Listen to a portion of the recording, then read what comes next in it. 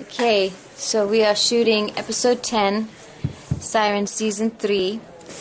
We are shooting a scene in the Anchor Bar where Hope speaks for the first time a sentence and she asks Ryn, What is up with Tia? You know, what's the deal? What are your thoughts so far? How's it going? Uh, I think it has been great because I get to play with one of those little like drink um, umbrellas. Drink umbrellas. But the problem There's is a with the- downside. yes. The downside is there isn't a mermaid on the umbrella.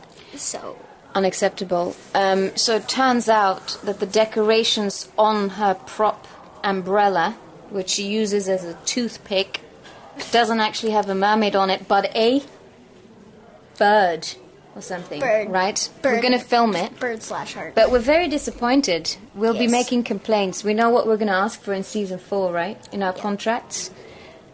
Umbrella mermaid, mermaid umbrellas, Detailed mermaid umbrellas detailed mermaid umbrellas. with glitter. with glitter.